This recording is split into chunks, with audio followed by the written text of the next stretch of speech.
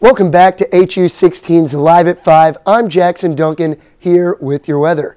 Right now we're looking at temperatures in the lower 70s and that feels like temperature just slightly lower at 72 degrees. A beautiful day here in White County and the wind right now going south at 7 miles an hour and that humidity there at 33%. So some wind is affecting the temperature at the moment. And for the next 12 hours, we're seeing those temperatures get into the mid 60s as the night goes on and even into the lower 50s. We see that temperature spread from 73 to 51. So a 22 degree drop here in the next 12 hours as the night goes on.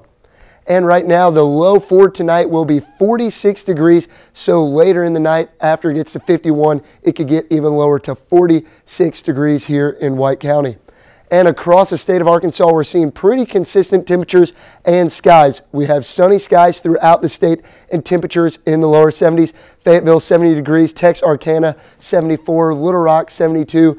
Jonesboro, 72 as well. And down in Monticello, 73. So across the state of Arkansas, a beautiful fall day.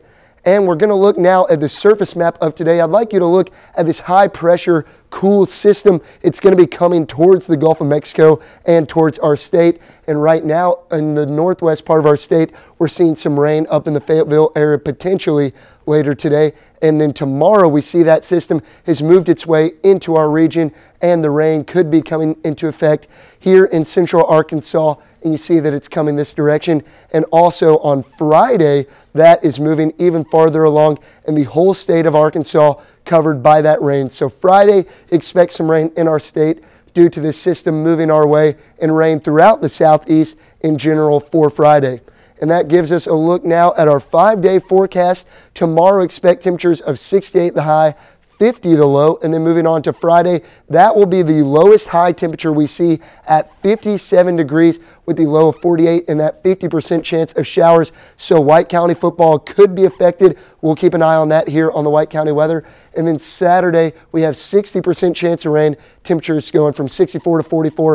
And then Sunday and Monday, expect mostly sunny skies with temperatures in the mid 70s and the temperature low for the night being in the lower 40s. That is all I have for your Harding weather now.